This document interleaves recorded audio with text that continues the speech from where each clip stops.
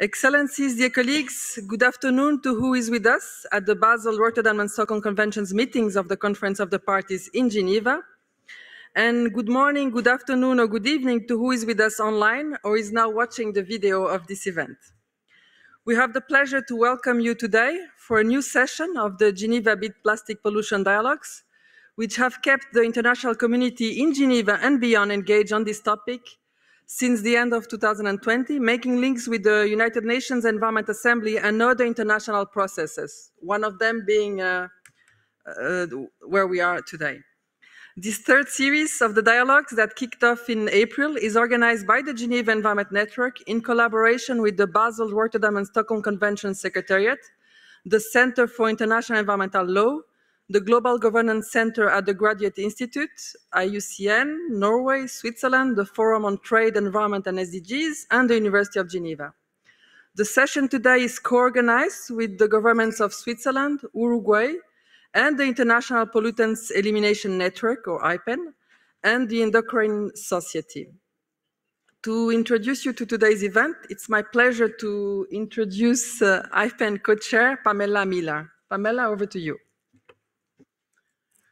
Thank you, Diana. We are so pleased and thank you for attending today.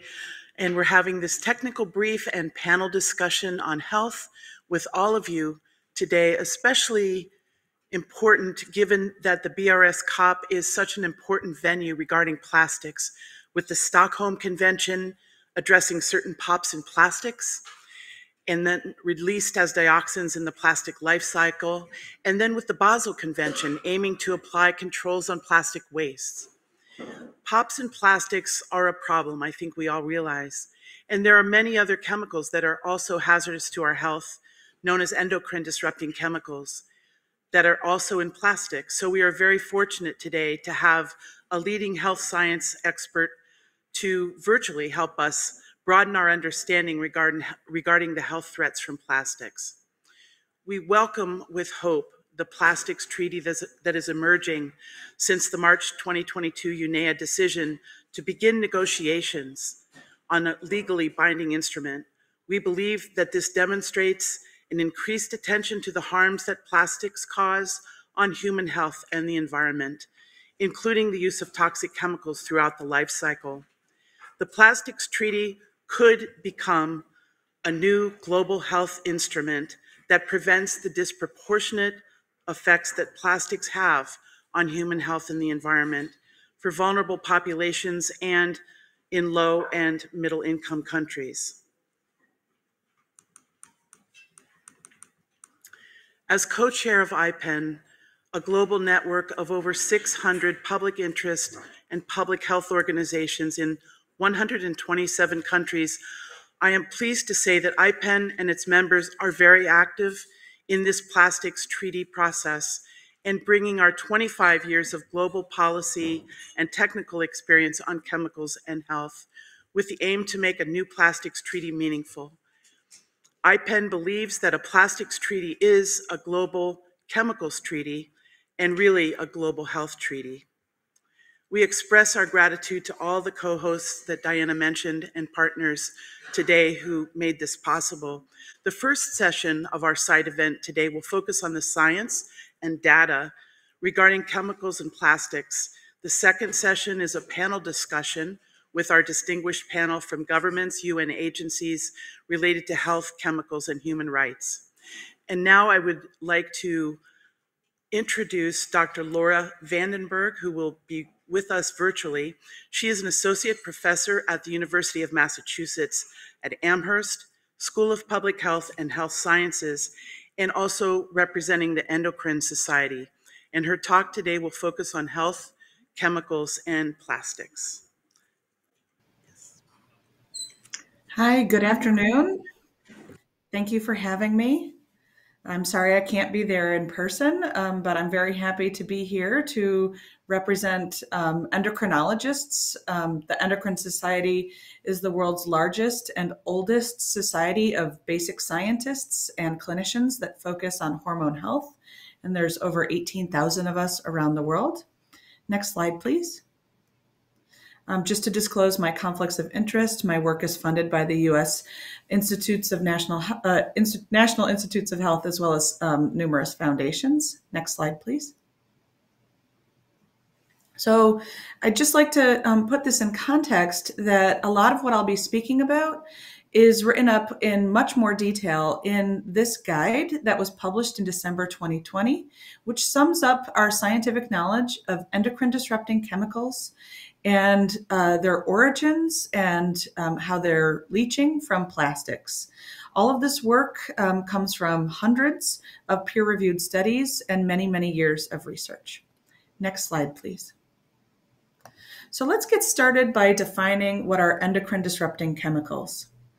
These chemicals are defined differently by different agencies around the world, but the most simple and straightforward definition is shown here that endocrine disrupting chemicals are exogenous chemicals, meaning chemicals produced outside of the body, or chemical mixtures that interfere in some way with hormone action.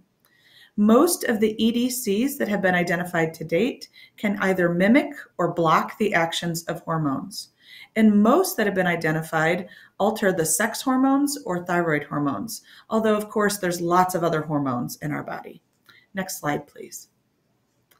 So, I also want to start by telling you why this is so very important. And I'm going to give you a couple snapshots of conditions or diseases that we're seeing altered in human populations over the last several decades, all of which can be linked back to hormones or hormone action. On the left here, what you can see is the decline in the age at which girls are reaching menarche, receiving their first period. On that's sorry, that's on the left. On the right is the decline in sperm count that's been documented um, around the world. Next slide, please. We also see an increase in the rates of endocrine mediated hormones, so, or sorry, endocrine mediated cancers, cancers that depend on hormones. On the top, what we see are the striking increase in the risk of testicular cancer across countries, but especially countries in um, Scandinavia.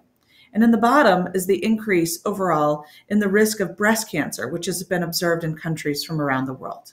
Next slide, please. We also see increased incidence in um, conditions that affect learning, behavior, uh, socialization. On the left, the increased risk of autism that's been documented in populations around the world. And on the right, the increase in ADHD, in this case, a study that was conducted in Taiwan. But this has been observed again around the world. Next slide, please. We also see an increase in the incidence of diabetes. The slide on the right is showing the increased incidence of type 2 diabetes, which is often thought of as a lifestyle disease. And of course, we've, we've also seen an increase in the incidence of obesity in human populations around the world. What's also shocking is what's shown on the left the increase in type 1 diabetes that's been documented in populations around the world. Type 1 diabetes, or otherwise known as juvenile diabetes, is also influenced by immune function, and we're seeing that also increase around the world. Next slide, please. So these are just a few of our most concerning issues cancer, reproductive problems, alterations to other hormones, alterations to growth and development, brain and behavior. And when we see these striking increases in disease over periods of time where genetics could not possibly be changing, we're talking about just a couple of generations in humans, really tells us that we need to start paying attention to what's going on in the environment. And endocrine disrupting chemicals is one very important part of this equation and is, of course, of interest to those of us who study hormones. Next slide, please. So there are many endocrine disrupting chemicals that are found in plastics. And these endocrine disrupting chemicals have been linked to reproductive disorders, cancers, diabetes, obesity, neurological impairments, and many other conditions. These links come from human studies where we're looking at human populations and comparing between highly exposed and less exposed populations, but they also come from controlled laboratory studies, including the kind of work that I do in my lab with rodents. Next slide, please. A major concern that endocrinologists have raised is that endocrine disrupting chemicals pose risk to human health at key points in life cycles, including during pregnancy and puberty and childhood. Another major concern that we now know, based on studies largely from animals, is that the effects of endocrine disrupting chemicals can be transmitted over several generations, which means that the time to consider the effects are as early as possible. Next slide, please. So, as we wrote about in our report released in late 2020, there are many, many different chemicals or classes of chemicals that are found in plastics that have been linked to health effects. I don't have time to talk about all of these this morning, but I do suggest that you read that guide. Um, it's freely available online through the Endocrine Society and IPEN's website. Next slide, please. I'm just going to focus on these three um, classes or groups of chemicals because I think they're of greatest interest to this audience here today. Next slide, please. So I'd like to start by talking about UV stabilizing chemicals. These are chemicals that are added to plastic products as well as other products to prevent against damage from harmful UV rays. They're also added to plastic products and other products to prevent the product from fading to provide it with um, stain resistance and color, res- um, color resistance, to inhibit corrosion, and to minimize fogs. Next slide, please. One of the chemicals that's used as a UV stabilizer is UV 328. This is a chemical that's raised a lot of attention recently because of its environmental persistence. It's been detected in environments where it has never been used because it's moving um, throughout the planet uh, and depositing itself in, in places where um, humans are not typically found, um, where manufacturing is definitely not found. Um, it's also been measured uh, in the bodies of many different wildlife species and in human breast milk. There's evidence that this chemical has anti androgenic behavior, so it is an endocrine disrupting chemical. And it is just one of many UV stabilizers that have been shown to be endocrine disrupting chemicals. My lab is studying another one, oxybenzone, that's also found in plastics, and it alters the development of hormone sensitive outcomes. Next slide, please. We're also interested in brominated flame retardants. We know that plastics are flammable and therefore flame retardants are added to plastics. Brominated flame retardants are one of um, a diverse family of chemicals that are used to reduce the flammability of plastics and reduce the likelihood that fire could be spread through them. They're used in plastic casings for electronics and electronic equipment, and furnitures, and in building materials and children's toys. Some brominated flame retardants have already been included in the Stockholm Convention for Restriction due to their persistence, also because they're bioaccumulative and they have toxic properties, but many are still in use. Next slide, please. The health effects of brominated flame retardants are very well documented. Because these flame retardants are not bound to plastics, they can leach from the products throughout their entire life cycle. So exposures to humans take place for, via inhalation and ingestion of dust and contaminated food. Children are known to have higher levels of brominated flame retardants in their bodies compared to adults, which is likely due to the, the, the large amount of hand to mouth activity that children um, use and also the use of recycled plastics in toys. Exposures to brominated flame retardants are associated with altered thyroid hormone action, which is very critical to the development of the brain. These compounds can also disrupt sex hormones and interfere with the development of the male and female reproductive tracts. Next slide, please. Bisphenol A is the third chemical um, that I'd like to just spend a moment talking about. BPA is found in many different kinds of plastic products and it leaches from these products, which means that a lot of our landfills are um, full of BPA leaching, which contaminates surrounding soil and water. It has been listed as a substance of very high concern by the European Union and has been demonstrated to be toxic in hundreds of animal studies and more than 100 epidemiology studies. Next slide, please. There's extensive evidence that BPA affects a wide range of health outcomes. Specifically, BPA impacts brain development and behavior, reproductive health, and it is a known carcinogen. Next slide, please. There are also many BPA substitutes. So, as BPA exposures themselves appear to be going down in some populations, especially in areas like the United States and in Western Europe, instead BPA is being replaced by chemicals that have similar structures. Shown here from left to right are BPA, in the center bisphenol S, and on the far right bisphenol F. These are just two of dozens of BPA replacement chemicals, and many of those chemicals, as they've started to be studied in greater depth, have been shown to exhibit the same health effects as BPA. Next slide, please. EDCs are present in plastics. That's the that's really the big part of the story here. And there's about 275 million metric tons of plastics that are used each year around the world and only a small percentage of these plastics end up being recycled, whereas many other plastics are incinerated or they end up in landfills or in the oceans. This means that EDCs and plastics are being introduced to all of these environments. Next slide, please.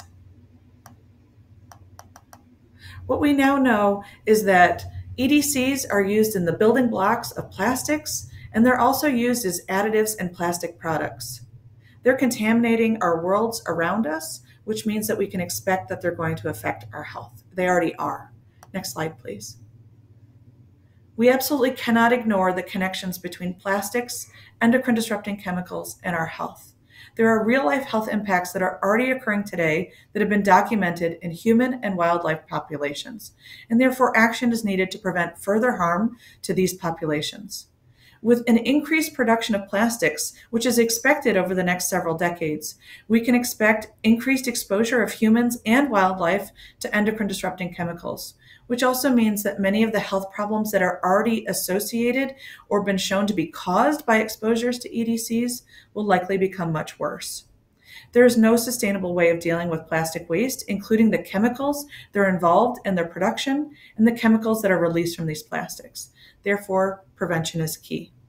Next slide, please. Just like to thank the co-authors of this report and again welcome you to um, read this report and remind you that it's found um, online and you can access it for free. Thank you for the time here today and thank you for the invitation to speak to you.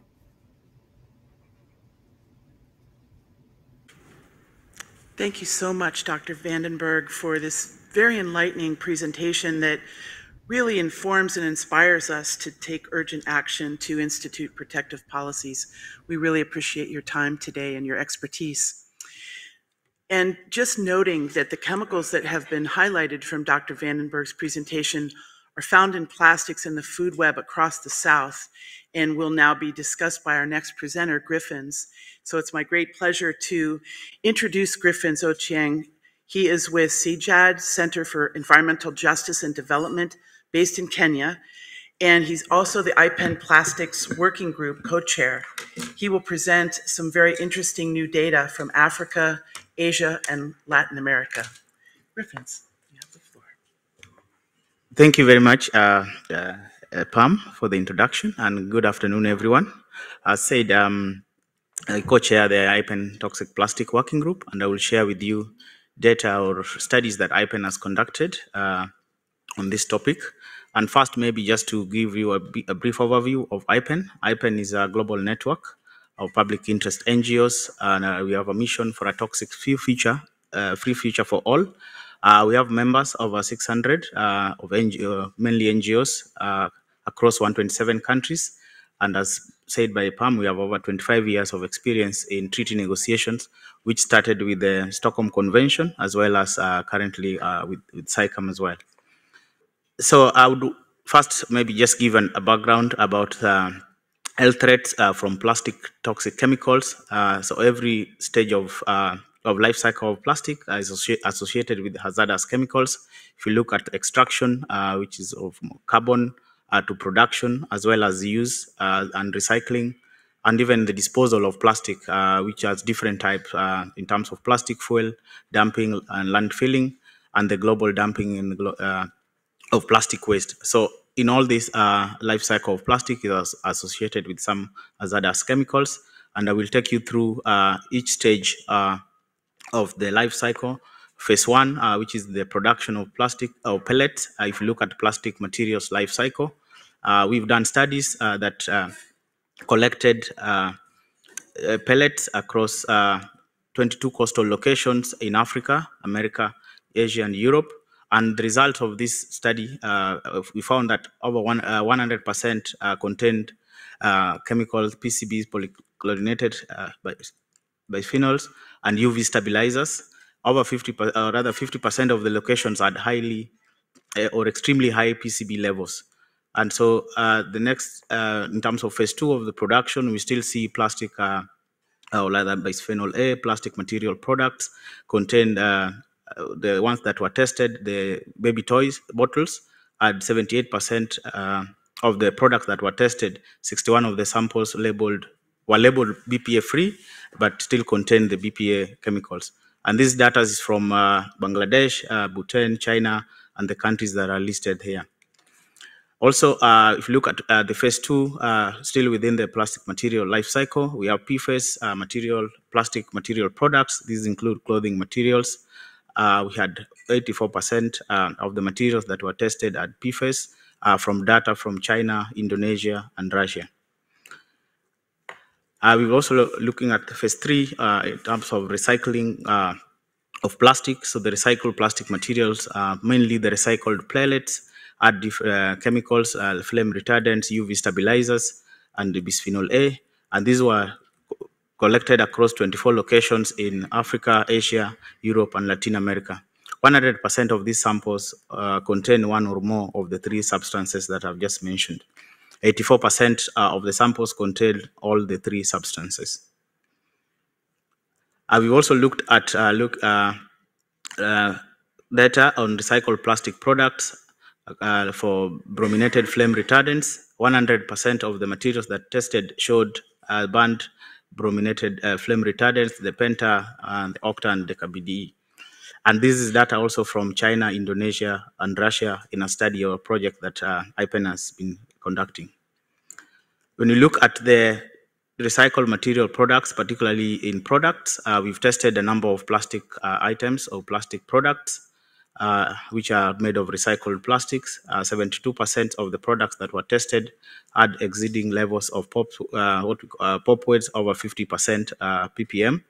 Nine out of 83 samples had very high levels of brominated dioxin levels. And these were data from the countries that are listed on the, on the slide.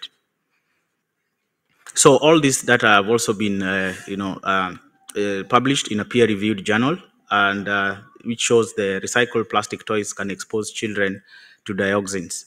And this is uh, particularly contribute to daily dioxin intake uh, in children.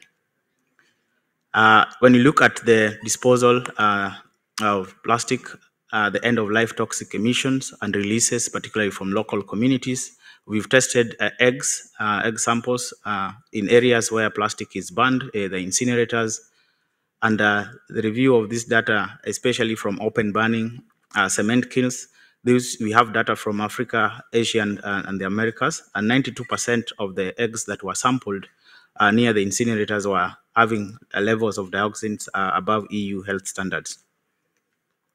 So just recently, we had this publication, which was in the emerging contaminants that was released on 26th of May 2022, uh, that showed the monitoring of dioxins and PCBs in eggs as a sensitive indicator for environmental pollution and contaminated sites, especially in areas like incineration sites, chemical recycling, and cement kilns. So in a nutshell or in summary, we say that plastics poison the circular economy if you look at the data that we've generated. And so this is a big concern, especially the linkage of chemicals, health, and, uh, and uh, plastic and, and chemicals. So I would want to invite you to the data, uh, the reports that IPEN has pu published uh, uh, based on the data that we've generated that is available some of uh, here and also at IPEN booth. Uh, so feel free to pass by. Thank you very much.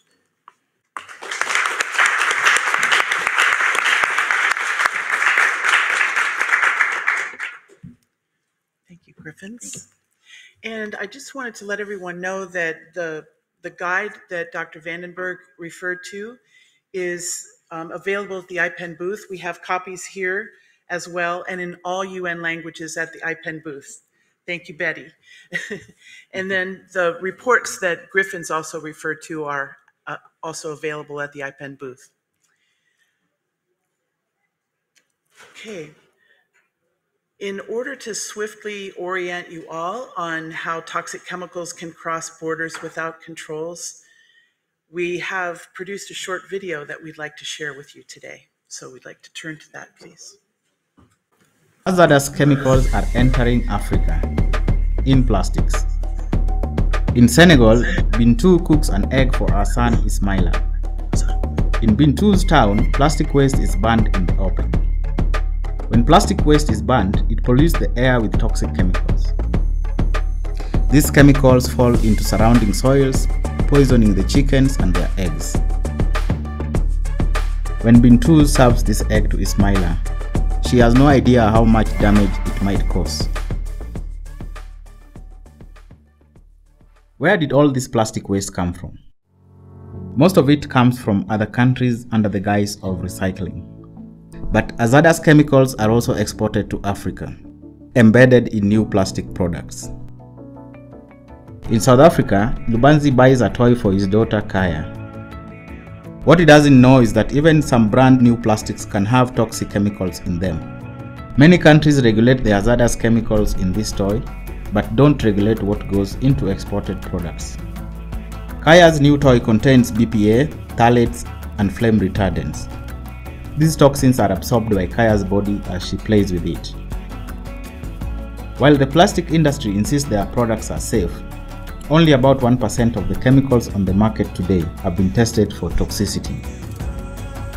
Global plastic production is growing rapidly and is expected to triple over the next 30 years.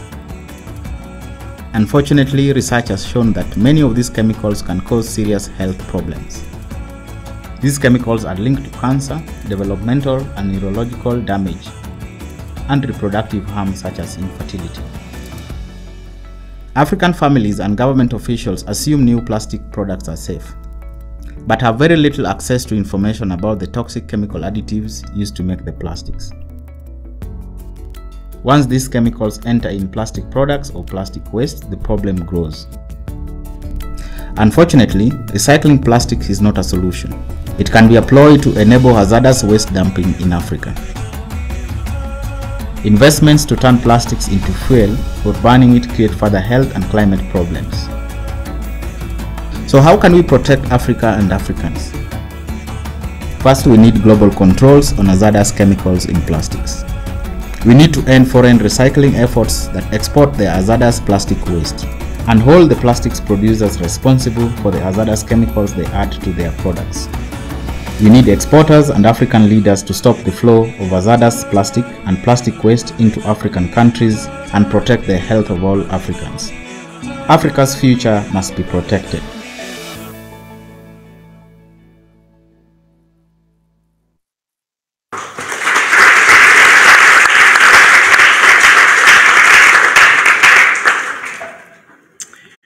This video focuses on Africa, but it is obviously relevant to all countries regarding toxic chemicals crossing borders in consumer products with no information about what is in these products.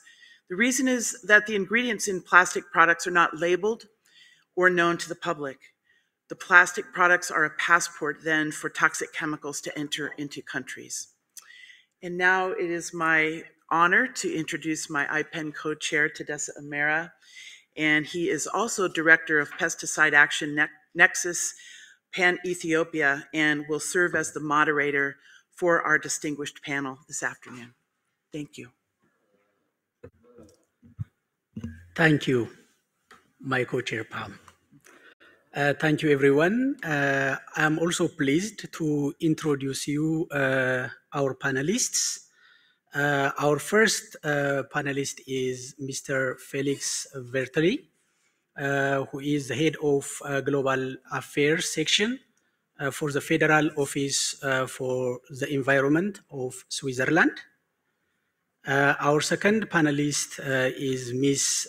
Valentina Sierra, permanent mission of Uruguay to the United Nations in Geneva.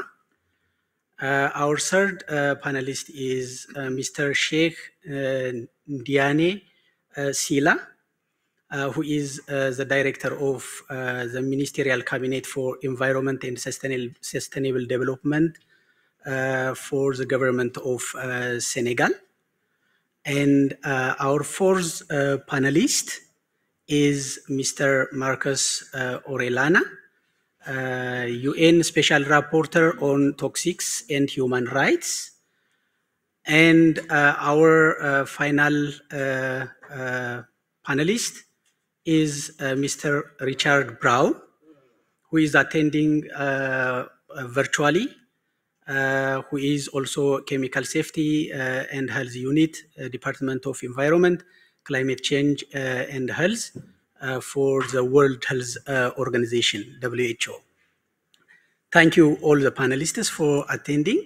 my first question will go to Felix. Uh, we have been saying that this treaty, especially the plastics treaty, is a health uh, and a public health and chemicals treaty. Uh, and in your view, how can the plastics treaty help control the use and exposure to hazardous chemicals in the life cycle of plastics? Felix, please. Thank you very much, and uh, good afternoon to all of you.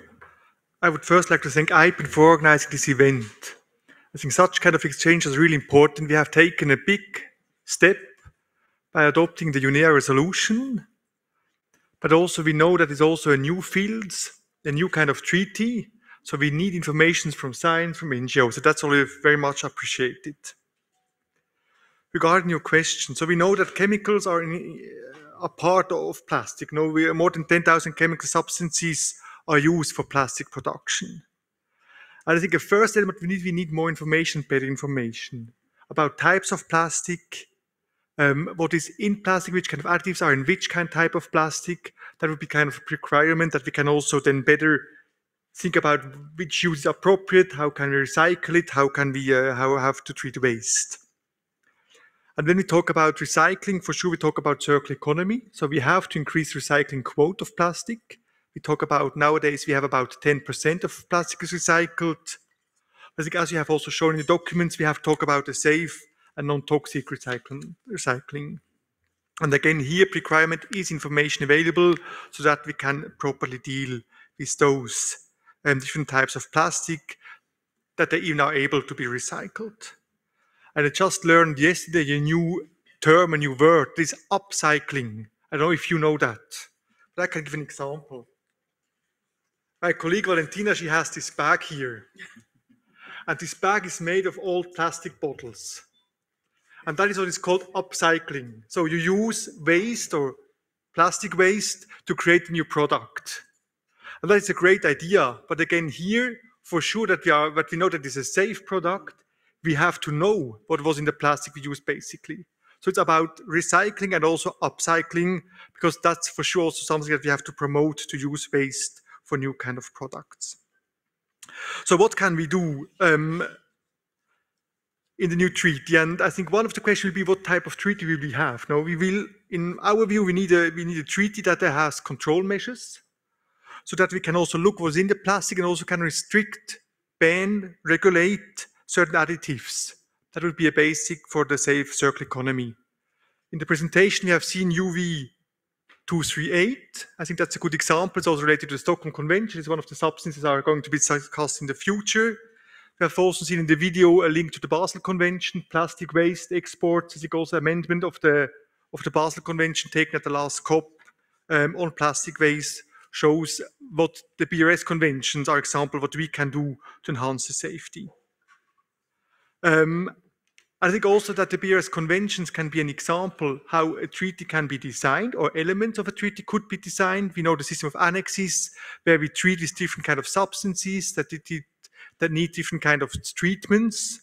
Um, I think that could be also be an inspiration for a new plastic treaty that we could use this kind of element with annexes where we can regulate, ban or restrict certain substances.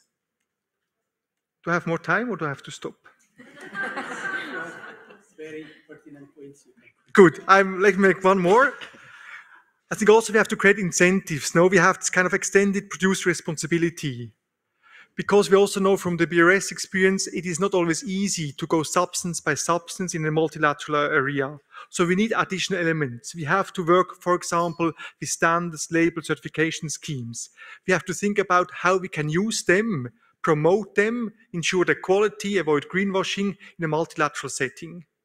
And here comes linkages, for example, to the private sector, because they have a lot of knowledge, they have a lot of systems in place. We can't replace that in a multilateral treaty, but we can use it and hopefully promote it. We also have a lot of examples on national level. I mentioned, I mentioned, for example, extended producer responsibility. Many of our countries, we have schemes where we try to promote the circular economy through those. We can learn from each other which kind of substances we try to limit or to promote through those systems, what kind of, how we apply those. Those might be different to the context. Are we in a developing, developed country, island state, landlocked state?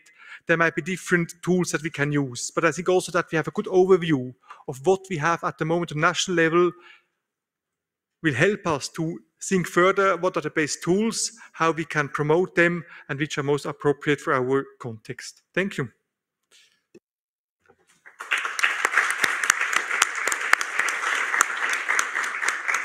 Thank you very much, Felix. Uh, you raised uh, important issues about the historical event at UNEA 5, uh, and which is opening uh, a new door to a new treaty. And uh, as you uh, already mentioned, we need science. That's what IPEN is trying to do to bridge the issue with the science and bringing evidence. Um, and also uh, non-toxic circularity. If in the circular economy, if we do, if we are taking in uh, toxics, the, the, the, the toxic chemicals are circulating and we are increasing their circulation. So this should be uh, non-toxic circularity. And recycling and upcycling also is something that we can take. And uh, EPR, uh, EPR uh, to be incorporated, and also the annexes in the in the uh, treaty like the Stockholm Convention, which strict uh, the use of uh, chemicals, hazardous chemicals in plastics. Thank you very much. And uh, with this in mind, uh, Valentina, what's your reflection on the first question about the circularity and preventing the hazardous chemicals for health? Thank you very much, Tadesse, and many thanks uh, to, to IPEN for organizing this important event. Um, and it's, it's, a pleasure to share, uh, to share it with these uh, distinguished panelists. Well, to start, I would like to highlight that UNEA uh, 5.2, um, at UNEA, we agreed to start a process, uh, a negotiating process, with the goal to complete our work by the end of 2024, a legally binding agreement on plastic pollution that addresses the full life cycle of plastics, and it includes the, the marine environment. I would like to highlight the main elements that are included in this resolution and uh, that are relevant to chemicals. Uh, firstly, uh, the recognition of the problem uh, and their negative impacts on the environmental, social, and economic dim dimension of sustainable development. It is important to emphasize the dimension of plastic pollution prevention, and uh, its related risks to human health, as well as the adverse, adverse effects on human well-being and the environment. We consider that the negative impacts on human health, on the environment, and on human rights should be reflected more clearly in the future agreement. Hazardous chemicals are used during production, consumption, and waste management, and that should be also discussed in this process and considered in the treaty. These are indivisible, interrelated, and cross-cutting issues, and they should be addressed jointly to improve their core benefits. UNEA resolution recognized that plastic pollution needs to be tackled, tackled throughout uh, the life cycle approach. But we still need to have a common understanding of what we mean by a life cycle approach of plastics. Also, I would like to highlight uh, the importance of the multi-stakeholder forum that will be will be take place uh, in the first INC and hopefully during the whole process. It will be a great opportunity to learn more.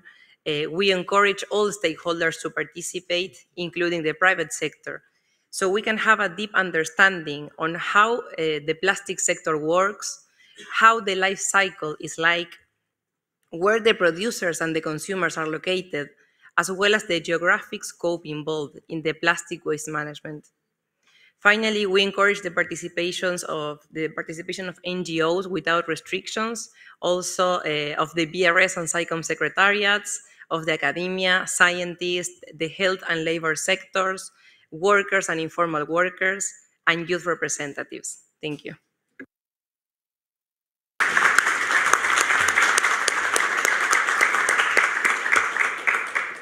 Thank you very much, uh, Valentina. Yeah, uh, as we said, UNEA 5.2 really uh, created that opening. And uh, the problem is now already recognized, and how we can solve the problem uh, is under discussion from the OEWG uh, in Senegal to the INCs that are coming, which is going to start in Uruguay and continuing for the next two plus years. And the life cycle approach is uh, very important and the multi-stakeholder approach and the, the draft decisions taken also in uh, Dakar on participation was also uh, encouraging for civil society and other stakeholders as well. Uh, having said that, I am coming back to you again on uh, uh, this issue of uh, the non-toxic circular economy. Uh, what uh, guiding principles should be adopted to achieve a non-toxic circular economy for plastics? What's your opinion? Thank you, Tadesse. Uh, indeed, uh, I think we, we should uh, highlight um, some principles, very very guiding uh, principles actually that that needs to be. Um, they will help us to achieve this non-toxic uh, circular economy. Um, first of all, uh, also there are highlight and present in the resolution. Um, well, are the reference uh, to sustainable production and consumption of plastic, sound management of waste, uh, and circular economy. For us, this is fundamental, and, and it, it has to be included uh, in the treaty. Also, I would like to highlight the social aspect of the resolution because uh, it recognizes the significant contribution made, made by workers under, under informal and cooperative settings. And it also highlights uh, the health impacts on waste pickers. Uruguay also promotes this approach under the ILO. Uh, we also heard that chemicals in plastics um, um, uh, chemicals in plastics make plastics less recyclable. So it's a thing that we, we should address. And we need to eliminate as much as possible the toxic chemicals in plastic production to have a non-toxic uh, circular economy. Finally, sustainable alternatives and technologies are also um, highlighted the resolution, and um, they also highlight the need for enhanced international collaboration to facilitate access to technology, capacity building, and scientific and technical cooperation. Thank you. Thank you very much, uh, Valentina. This is uh, very important. The solid waste management and the circular economy, the non-toxic uh, circular economy issue is very important. Is the social aspect, especially waste pickers were well represented in Dakar, and the health aspects, the social aspects of uh, the waste pickers is uh, also something that we uh, also focus on. Um, and all this to be incorporated in how the chemicals, the hazardous chemicals cannot be included in plastic production is uh, also a point. Thank you really so much. And I come uh, to uh, Cheikh Sylla now uh, with the same uh, question uh, what's your reflection on what guiding principles should be adopted to achieve an toxic circular economy for plastics? Uh, because you are you were chairing the plastics uh, OEWG in Dakar, you were hosting us, and you know almost all the processes that that have been taken after UNEA 5 in Dakar. And uh, what's your reflection on this? Thank you very much, and uh, thank you for the opportunity uh, to IPEN uh, Switzerland and Uruguay for hosting this. And uh, I hope the African leader will heard you about the video because uh, it's a very difficult uh, subject.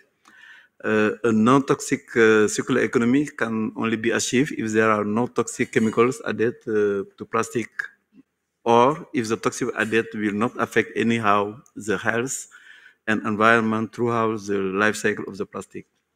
In countries like mine, and uh, in many African countries also, this is very difficult to achieve due to the early reuse of the plastic by informal sector, which is the most developed on the ground. When I say early reuse, it means, for instance, the plastic used for packaging, uh, and uh, this, this plastic uh, are cut into small pieces and used for packaging uh, foods such as peanuts, salt, pepper, and so. Other non-food plastic also are used at checkout to package oil, vinegar, uh, mustard. All is sold in plastic containers. And uh, most food uh, packaging does not meet the characteristic required to, for food contact with plastic. Any plastic and on handy can be used or reused. In addition, some goods like bags, shoes, books smell uh, oil or solvent when use it for the first time.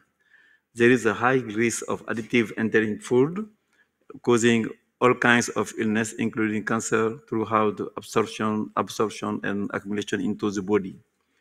It's uh, why all plastic must be designed for recycling so that no plastic is burned, dumped, or landfilled, knowing we cannot recycle the plastic uh, indefinitely.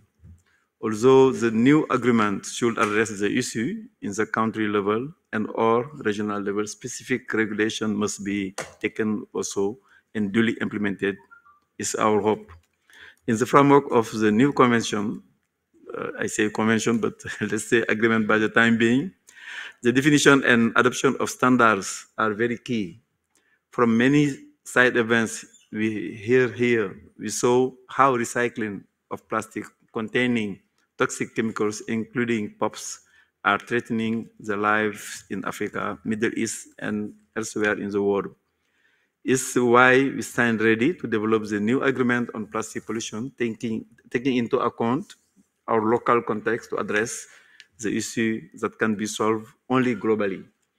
And uh, one last thing also with regards to the circular economy, we are not only importer, but all our country, we are producing uh, this, uh, this plastic. With regard to the technology transfer, we must take care of the dumping of non-clean equipment and see how better we can do the recycling and disposal of the plastic. And to end, our hope is a new agreement address all our expectations within these five uh, INC uh, meetings and hope also protecting health and environment will guide us uh, during our negotiation and discussion. Thank you very much.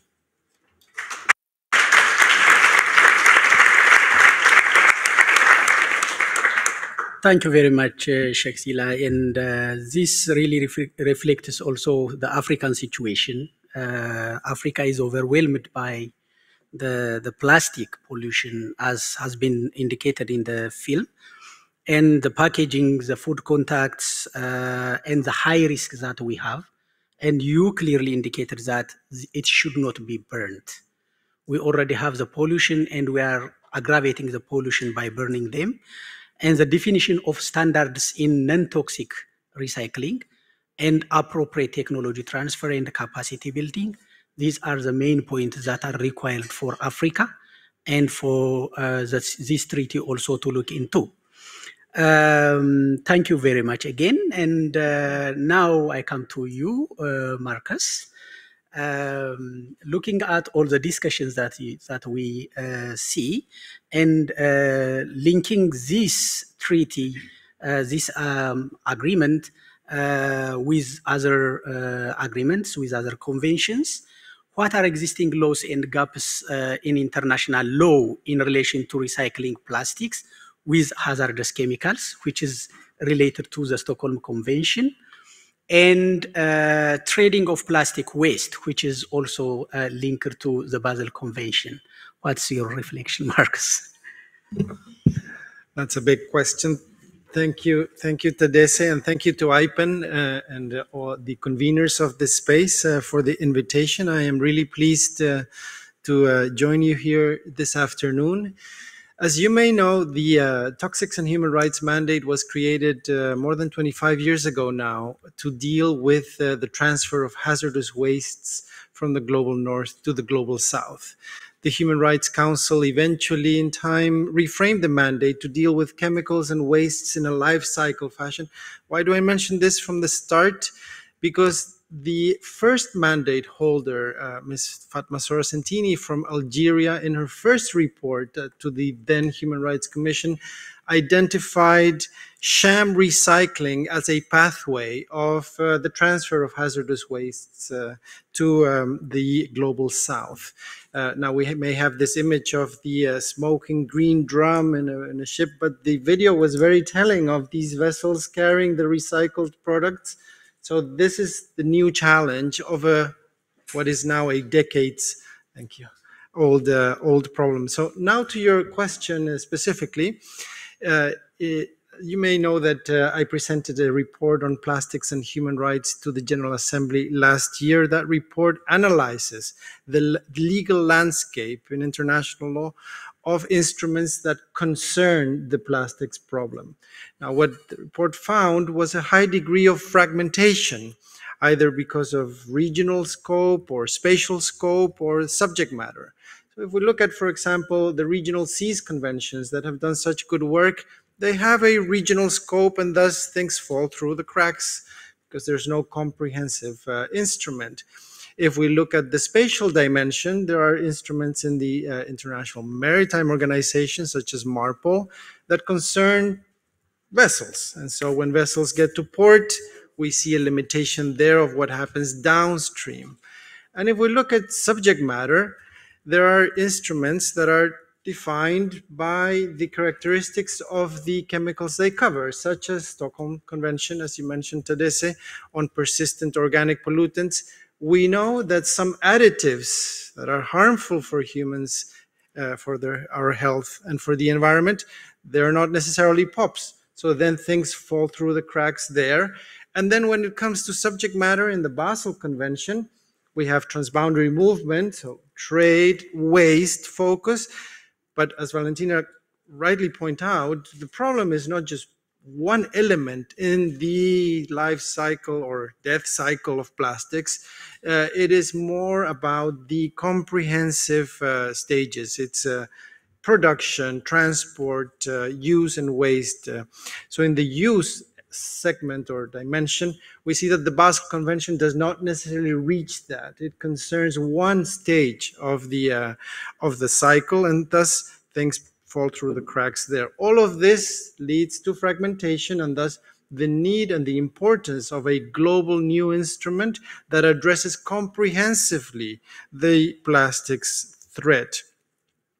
In addition to the issue of fragmentation, there is the concern specific to the uh, Basel Convention about loopholes that are enabling the transfer of plastics to the South, uh, not just north south, also south south, um, because of uh, what is considered to be uh, a repairable uh, product or or substance or or thing, uh, and so the the streams of waste that uh, are shipped. Uh, under this loophole, they have impacts on, as we know, they're dumped, they're burned, uh, much like other plastics. They contain hazardous substances as well, but they're not being covered by the Basel Convention. It, this is rampant. Um, so this, these are uh, some reflections on, on the specific question. And if I may indulge uh, this with uh, your indulgence again, uh, if I could comment on, on a point that was made by Felix just now, the, um, the, it is indeed the case that these instruments and others provide useful models or elements to build what could be and what is expected to be an effective instrument to deal with uh, with plastics. And the point about restricting additives is essential. Uh, this is was pointed out also uh, as an element of a non-toxic circular economy. The annexes model could very well work here Perhaps national action plans are not that effective. That's a longer conversation. I'm happy to elaborate. But what about thinking about instead of annexes that include chemicals that are, to be restricted, what about reversing that and include annexes that, or provide for annexes that include uh, those chemicals that can be used? Uh, and that could then enable what could become then a, a, a truly non-toxic circular economy. That's just one reflection. Thank you again, uh, uh, Tadesse.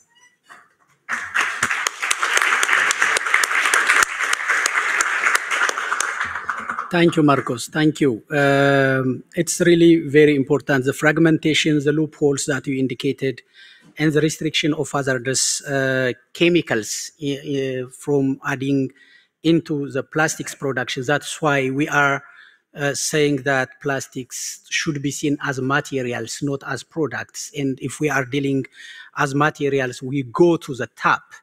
Uh, if you if you don't close the tap, which creates the mess, uh, and if you are dealing only with the mess, the tap flows and you end up just cleaning and cleaning and you in uh, all your resources and time in that. So there should be a mechanism also to close the tap there. And your your point on and Felix's point also on restricting hazardous chemicals from being added in plastic production is the green designing aspect that we are all also uh, working on.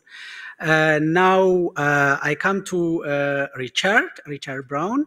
Uh, we are saying that this treaty, this plastic treaty is a, a chemicals and public health treaty. and as a WHO person, what are the opportunities for plastics treaty to protect to protect human health and the environment. Uh, when you see the progress uh, from UNEA 5.2 and uh, OEWG, and also the discussion in the BRS COPs here, uh, Richard, please. Uh, thank you for the uh, for the question and for this opportunity. The, I see from the the instrument that comes, and this is a, a personal opinion. I can't speak for for the whole organisation, but two areas of potential for improvement in the area of research and and as a mechanism for disseminating information on chemicals because there is a lot of uncertainty in this area. Uh, the WHO has has has looked in particular at one aspect of plastics which has not been mentioned so much today, and that's the area of microplastics. We published a report in 2019 on occurrence of microplastics in drinking water, and the result of that was found that there was a great deal of uncertainty in how to do an assessment of the effects of microplastics in drinking water and a need for more research in order to resolve those uncertainties. And that can be extended to, to other areas related to the health effects of plastics. Uh, I would like to mention that we have followed up on that drinking water report with a an additional report, which hopefully will be published within the next one to two months, looking at microplastics in other media, such as air, uh, via food, via contamination of soil, ingestion uh, effects via ingestion and inhalation. Uh, and while the report is not available yet, I think it is almost certain that it will be. It's unlikely to be able to conduct a quantitative risk assessment because of these continuing uncertainties about all of the assessments which can be done due to, to lack of information. So I would hope that a a new international instrument of some kind could help to stimulate necessary research to help resolve those uncertainties and identify what are the most important concerns, as well as the overall aim of stopping the rise in plastic like pollution, which has been seen worldwide. Uh, when our first microplastics report was published, our director, Dr. Maria Neira, made an explicit statement that, that it should represent a call for action to stop the rise in plastic pollution taking place uh, worldwide. And I would hope that this instrument could very much help to stimulate uh, action um, in that direction. Thank you.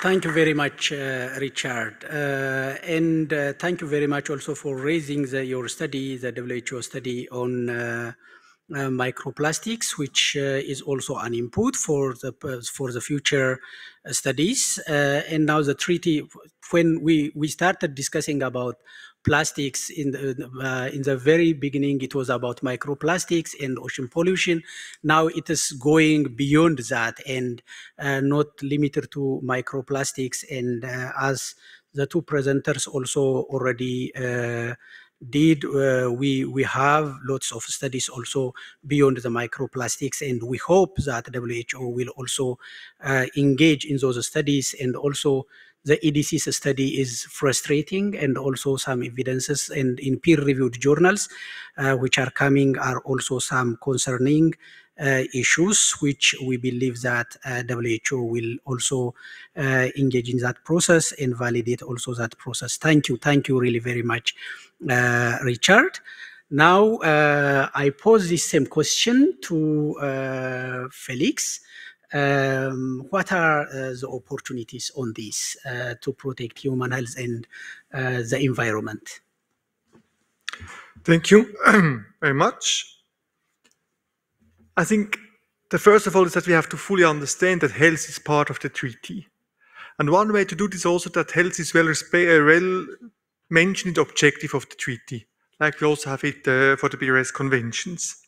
I think with that already highlight at the very beginning when we talk about what is the intention of the treaty, that the human health is part of it.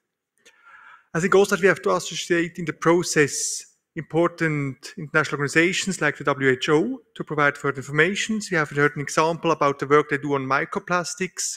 I think that would be very important. I think that's also a general point that we have. Now we have in the UN system to get out of the silos and support enhanced cooperation in particular from our point of view, for sure, in the field of environment and health.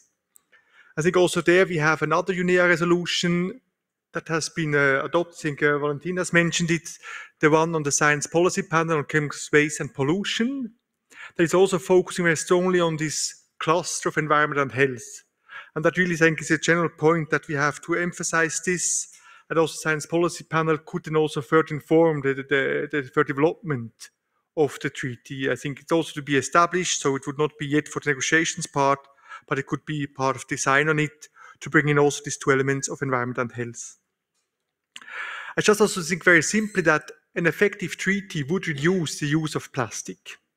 And the reduction of plastic is already a contribution to the human health under the condition for sure that we are sure that the alternatives used are better so not to duplicate the problem or replacing the problem, but find better alternatives. And that will be very key also to be sure. I think it's also the scientists at the very beginning who said prevention is key, and I think that's really the chance that we have with this plastic treaty. If you have not, uh, an effective treaty, it is a unique opportunity that we can use the plastic production. And perhaps the first question that we have to ask ourselves is, where can we easily reduce the plastic use?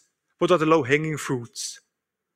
And I think we know all from our daily lives, we see the absurd examples where we use plastic and we will not use it. And this kind of thinking through, we have to for the whole value chain. Where can we replace plastic by something better, something else? Where could we just reduce it?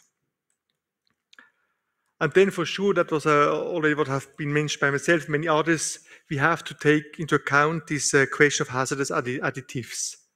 I think if we talk about health, we have to talk about the, the, chemicals that are in plastic, and we have to find a way how to deal with it, to reduce the use and to get out or to, to, to reduce at least um, the, the, the hazardous additives that are harmful for the environment and for the health. Thank you. Thank you very much, Felix.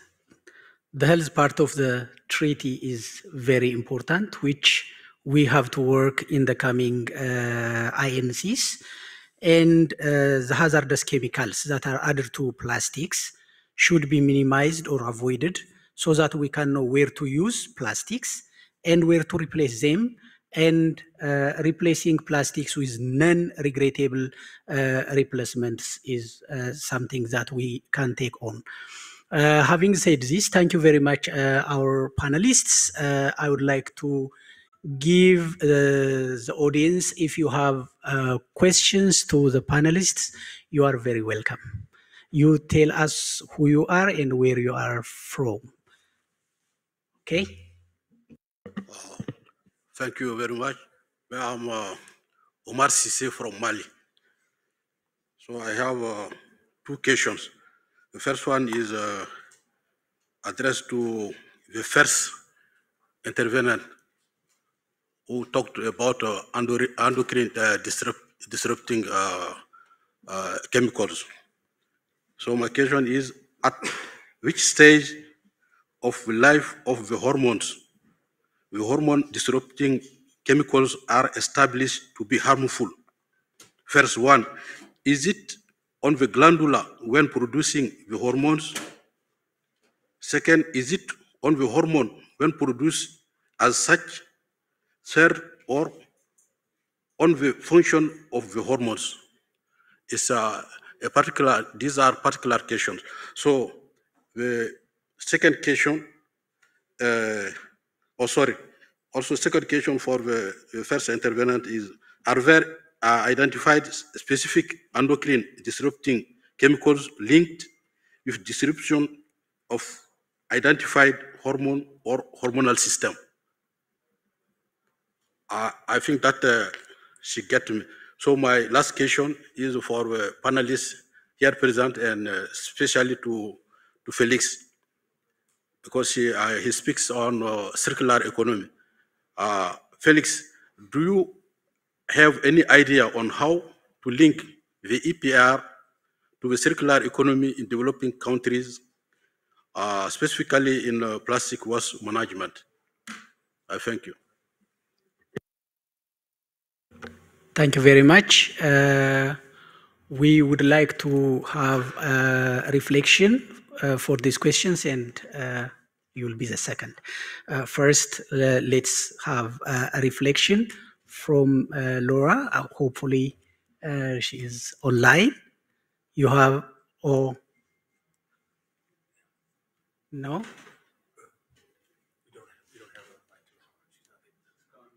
Okay, so we will organize to to uh, answer those questions. Uh, and the second question for Felix.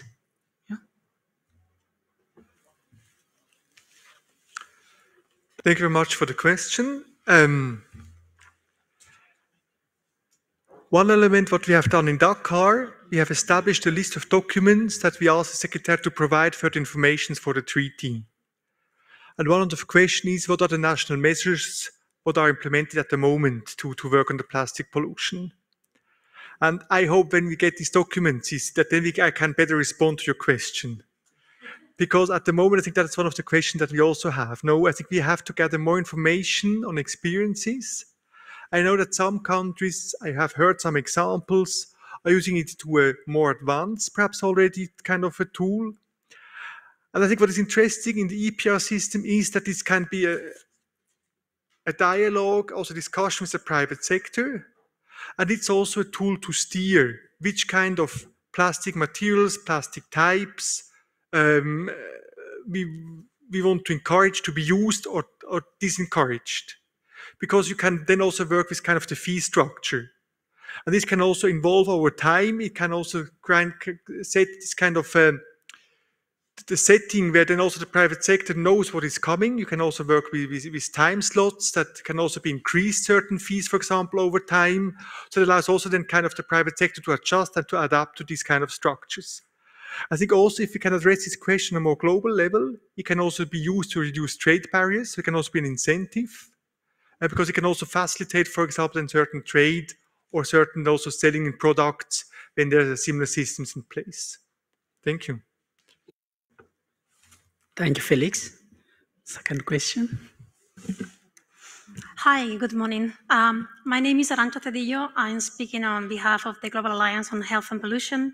I would like to ask a question to Mr. Marcos Orellana. Buenas tardes, Marcos. Here. Um, you say earlier uh, in your presentation that uh, you believe that health national plans might not be as effective to tackle these global plastic crisis. And I would be interested in he hearing more about that, if you could elaborate. And also, what would be the alternative solutions that you propose um, for that? Thank you very much. Thank you. Uh, other questions? Okay. Uh, thank you very much. I am Youssef Zidi from Tunisia. Uh, just uh, uh, we know that uh, inside of the gas emission coming from the plastic incineration, there is another mechanism of transformation that gives more risk or more dangerous uh, when we use the plastic. What is exactly this mechanism? And uh, I think it is physical and chemical transformation.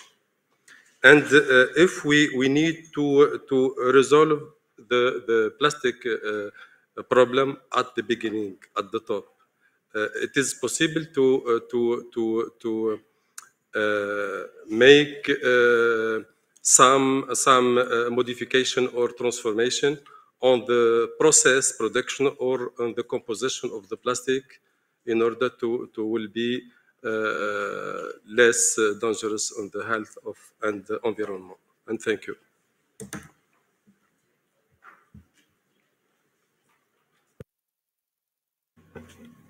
Any other question?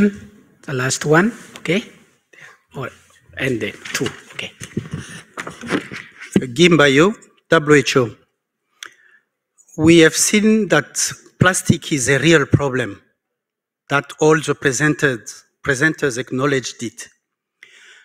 We are now working on a treaty, and my question is, one, uh, which mechanism will be in place to ensure monitoring of implementation of the treaty? And do you already have some thought as to enforcement for the observance of the treaty. Thank you. Thank you very much. Yeah, um, thank you. Uh, my name is Charles Ikia from Nigeria. Um, when you are talking about uh, non-toxic circular economy, and in this case, I'm referring to um, plastics. Now, if you want to uh, make the product less toxic, probably you start from the design stage. You try as much as possible to design out waste, that's reduce waste, design out pollution, of course, design out, you know, um, toxic chemicals. Now, how do you balance? Because it, it is possible that if you reduce um, the toxicity, it, it might affect the durability of the product, which would also impact on its reuse, repairability, um, recyclability. So how, how do you balance, you know, when you reduce um, such uh, chemicals and then you are now talking about the circularity of the, the, the product. You know, wouldn't it affect its circularity, particularly um, when there are no credible uh, alternatives? Thank you. Thank you very much. Uh, okay, Dr. Dada, last. Um, thank you very much uh, for the presentation. Um, I was at Senegal last week, and I would really like to commend the organizers and the government of uh, Senegal for a job well done within a short time. Quickly to the reference by my colleague from Nigeria. Presently, we have over 50 replacement on of um, product in producing plastics. Limestone by Japan is still, I think, is still under research, and so many products, over 50 types of replacement. But my main worry is that in the design of the um, convention, will those products still will be under plastics? Or for instance limestone is going to replace some of the products in in um, in making of the plastic whatever. So those are the things we need to consider. Because when they do replace them what volume will be replaced. And can we still classify those as plastics? That's where i'm really worried about. Thank you very much. Thank you very much for the questions. Uh, now I proceed to the panelists to re reflect on that. and for the last uh, two questions that are coming, very, very important points about uh, green designing and uh, uh, how we can depend on these products. So what, what, what, are we measuring? Human health and the environment or the product or the material is something that we are doing. And if science reaches to produce those plastics, science should also reach, I mean, the, the, the, the industry should also reach to the level that can produce uh, materials that are not harmful because when we are talking uh, EDCs, I always remember one intervention uh, from one of the European countries uh, some years back. Uh, you men, you are less men than your fathers and grandfathers was a touching statement. And endocrine disruptors are like that. So we are taking about our future generation on how to deal our future generation when we are talking about uh, green designing and these chemical uh, chemicals taking EDCs as an example, and there are also other effects. Having said this, I will give the floor to our panelists who wants to reflect first. Maybe Marcos? Thank you, Tadesse. I'm, I'm happy to go first with a specific question on national action plans as an element of treaty design. The NAPs, uh, for the acronym, they're quite uh, attractive uh, to many because of the uh, flexibility they uh, provide to cater to national circumstances. But are they effective? If we look at uh, different treaty regimes, say the climate space with na with nationally determined contributions, kind of an analogous to NAPs, uh, the pledges and commitments there are overshooting uh, the Paris Agreement goals, uh, according to the UN Environment Programme's uh, re most recent assessment, the GAPS analysis, um, shooting to 2.7 Celsius and beyond. So, are they effective? Big question mark uh, on the specific point that you mentioned in the in the Stockholm Convention. National action plans are used to address unintended POPs the most recent reports on the effectiveness of the Stockholm Convention on this?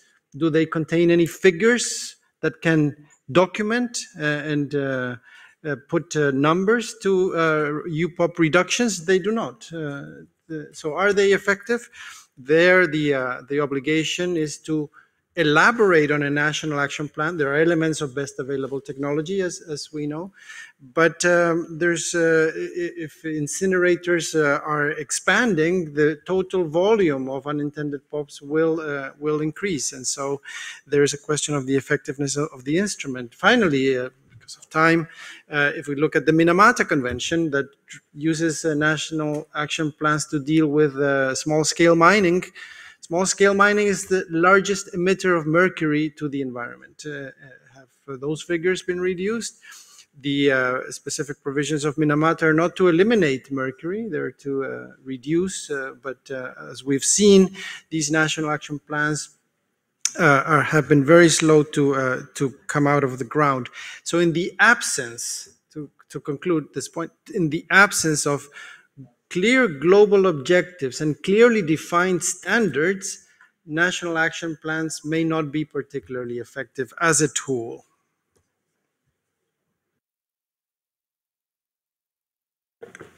Thank you, Cheikh Sylla. Uh, thank you very much. Maybe to complement uh, Carlos uh, with regards to national, uh, Marcos, I say Carlos, so I'm sorry. okay. Uh, with regards to national action plan, because uh, this uh, common convention uh, agreement must allow country to have data like inventory of plastic, which kind of product you you, you import, uh, which kind of of, of plastic you produce, and how is the life cycle in, in, the, in your country, and uh, looking of uh, the circular economy, and that the, that give us the, the opportunity also to talk about the financial mechanism. You know, we have uh, many different financial mechanisms that, that we, we can compare. And uh, one of the most uh, beautiful for me, or I don't know, a good uh, financial mechanism is the Montreal Protocol. You know, uh, going coming from uh, country program, it's like your national action plan. How you can fund your national action plan. And uh, this one, I know that uh, developed country don't want anymore to have uh, such kind of uh, Montreal Protocol because it's a little costly. But that is a way uh, where we can uh, address uh, all things and to have the obligation on reporting. But because reporting is very important, and uh, if you report on uh, with regard all of what you are doing, what you are producing, how it is uh, sell imported, uh, exported also, we can uh, see uh, how we can how far we can reduce in the world in the global uh, environment the plastic and how we can address the gaps and, and so and i think it is a way to tackle this uh, new agreement also to have uh, after the national action plan a regional approach because uh, africa is very specific compared to other continent and i think it, this has to be taken into account thank you Thank you, Cheikh Sylla. Yeah, would like to reflect? Yes. Thank you. Um, perhaps also on the monitoring question from the colleague of WHO. I think also we have in the chemicals and waste um, resolution examples. I think because monitoring, reporting, compliance, effective evaluation are very important. It's also interesting that the, effective evaluation of Stockholm has been mentioned as an example where perhaps we can see lack of progress, but we can say the effective evaluation was at least helpful to acknowledge that, to see that, and also provides the basis for, for further work and hopefully improvement. I think also that we have in the Minamata Convention good examples that we had were able to incorporate all of those elements. And I think when we continue in this path, I am confident that we're also able to incorporate those important elements in a new treaty. But also perhaps to, let, to say that this has not been discussed in depth now. I think that we will start now at INCN 1. We will start about discussing such kind of elements. About the financing, um, I agree with Cheikh Sylla that we'll have a discussion about financial mechanism. That is for sure part of it. I think also that we have to think beyond the kind of financial mechanism. No, we have to think about, as it was also said, we have to stop at the tap, not that not more plastics come in, so not, not to create more problems over time that will require more financial needs also. We always know when we don't address a problem over time, the costs are getting higher. So all that you can do to prevent the problem further, I think that will also be a part of uh, saving uh, funds and resources in the future. And also we have to find mechanisms to stimulate innovation for better products. We have to find mechanisms that support the transfer, transformation towards a circular economy. All those elements will also help then to implement it, but not that uh, everything would then be financed by public funds, but rather to create a system that also allows this, this transformation um, and implementation of the treaty. Thank you. Yeah, Valentina. Thank you, Tadesse. Just a final point that I think it's, it's important to raise, um, that UNEA also recognized the, the urgency to strengthen the science policy interface. And, and, and the resolution on, on the plastic, the future plastic agreement, also opened the possibility to establish a scientific committee. For instance, it could be as, as uh, similar as CRC or POPRC. Um, but also we, we are having, we are starting a parallel negotiation process on the SPP, the science policy, the science policy panel uh, on chemicals, waste and pollution. And we could do also a, a good use of that panel um, related to this issue. We, uh, they can abroad, they, they can address more broadly uh, this issue as well as identify the alternatives and technologies that we could use in the future. Thank you. Thank you, uh, Valentina. Richard, do you have any reflection? Um, I would make the point in well, two points. Uh, the the hazardous uh, byproducts produced by incineration of, of plastics can include uh, dioxins, and WHO is actually conducting a reevaluation of its of its toxic uh, effect equivalency factors for, for dioxins to enable assessments of the effects of dioxins to be brought up to date. That's happening later this year. I wanted to mention in when it comes to design, the design phase, that in when establishing the relative cost of alternatives, it would be preferential if the health cost of using something was incorporated within the overall cost of the use of that substance because the immediate cost may be higher but when you take account the long-term health effects of something its overall cost may be lower and i would like to think that that would be taken into consideration when developing alternatives and my final point would be to look out uh, from who for the next few months to see our report on, on the microplastics, which will, will be published. Thank you. Thank you very much, uh, Richard. And I would like also to give the panelists uh, what uh, takeaway message do you have for the audiences? Uh, I will give you 30 seconds to give us uh, punchy messages. And uh, to use Richard's presence, I, I would like to start from Richard, from the health perspective, what key message do you have to tell us? You have 30 seconds, please. I don't need the 30 seconds because my final point was to look out for our microplastics report for the, the media outside of, of just drinking water. Thank you. Thank you very much. Thank you. Uh, Felix, what key message do you give us? Thank you. Um, I think we have a unique chance opportunity here. It's really something that is a milestone in the international environmental governance. And I really hope that we get it right. And I think one thing also here at the BRS, we also see that sometimes we design a convention with a good intention, but then also we see over times that the mechanism is not working as we have we hope for. An example could be the, the challenges with listing under the Rotterdam Convention. So we have to be aware that if we design the convention, that we are careful, that we have a that we, we can live up to the expectation, but also think about this kind of mechanism because they will be very decisive about um, uh, what we can also then uh, to develop further the convention. And this said also about the process. I think that the convention or this treaty that is coming is not replacing existing efforts. We have now two years. The ambition is to have two years negotiations but would still meet the entry into force of the treaty it would be about 2029, 2030. So it takes a long time to establish this instrument. So I think also we have to continue working already with what we have to try to beat the plastic pollution.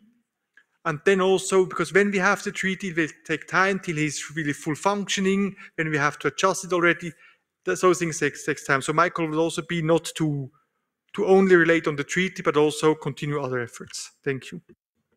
Thank you, Felix. Valentina? Thank you, Tadesse. Well, from my side, I think three, three key aspects I would like to highlight. First of all, uh, to have a successful result on, on this treaty. First of all, a multi-stakeholder engagement, a broad participation, and political will. That's all. Thank you. Thank you very much. Cheikh Sylla? I comp- like uh, Valentina in the last uh, point, uh, uh, the major group uh, well engaged, and uh, we heard the, the major group because negotiating only for state sometimes we, we refrain to tackle effect- effectively the issue and uh, not leave uh, nobody behind be together and uh, work together. And I hope that this treaty will allow this engagement. Thank you. Thank you, Cheikh Sylla. Uh, Marcos? Thank you, thank you, Tadesse. I would uh, reflect that uh, given the uh, grave toxification of the planet, we as humanity need to change trajectory, and that means a change in paradigm. Uh, and that means moving to a non-toxic environment. And the, this, uh, these negotiations on, on plastics offer a very good opportunity to do that. And in order for those uh, for the instrument to be effective and legitimate, a rights-based approach is critical. Uh, these are elements of just transition. It is also a question of putting people in vulnerable situations first, such as children. We've heard earlier about endocrine disrupting chemicals. It means securing access to information, as we've also heard in the panel on additives. So it's not just access to information, however, it is also control. It is uh, the restriction of toxic chemicals that would otherwise harm uh, the possibilities for a circular economy, not to mention even human health and the environment. Thank you. Thank you, Marcos. Uh, Griffins, our uh, co-chair for the IPEN uh, Plastics Working Group. Uh, do you have any key message to take home? Um, maybe just to give thanks, a vote of thanks to the partners uh, that have worked together to make this reality. I mean, uh, as IPEN continue to, you know, uh, elevate the issue of chemicals health through generating data, I think this has been critical in bringing such kind of conversation into policy making process like the INC. Uh, I remember when this issue. Uh, probably in um, I, uh, UNEA 3 when the issue of plastic pollution started uh, in momentum. Uh, the conversation was more or less on the issues of waste management towards, um, you know, and recycling. But over time, uh, now the conversation has really elevated on, uh, when we were in uh, Dakar as well as in UNEA, we have had such kind of sessions to bring information and uh, you know science on the issue of health linkage of uh, chemicals and plastic so i think this is a very good conversation as we move into the inc process and uh, thank you all to the partners uh, who have made this reality thank you My co-chair Pam, you you are from Alaska and you have the Arctic experience. What do you have uh, to tell us? Thank you, Tadesse, and thanks to all of you for your thoughts and, and thought-provoking discussion this afternoon. I just want to offer my personal perspective as a researcher who conducts community-based research in the Arctic on endocrine disrupting chemicals. And we know that the Arctic is a hemispheric sink, not only for chemicals and POPs, but now also for plastics and chemicals that are conveyed into these remote regions in plastics. And we also see that these, these chemicals and plastics are contaminating the traditional foods of the tradition of the indigenous peoples of the Arctic. Climate warming is exacerbating the mobilization and transport of chemicals both into and within um, the Arctic, and we see chemicals and plastics that have been sequestered in sea ice, glaciers, and in permafrost now being released into some of the places that are most productive from, from an ecological perspective, but also the places that are very important for traditional fishing and hunting of the indigenous peoples of the Arctic. So I just wanted to highlight this because this is not an abstract issue. This is a critical public health issue that we must solve together. And there, there's an extreme urgency to this. So I hope we can all come together and in these next few years negotiate a very strong treaty based on health and human rights. Thank you.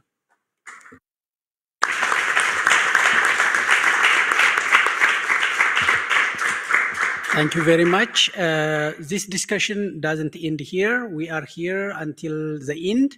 And today also we will have another side event on plastics and refuse uh, derived fuel, uh, which is another way of exporting plastics to others and uh, to other countries in room 14, level two.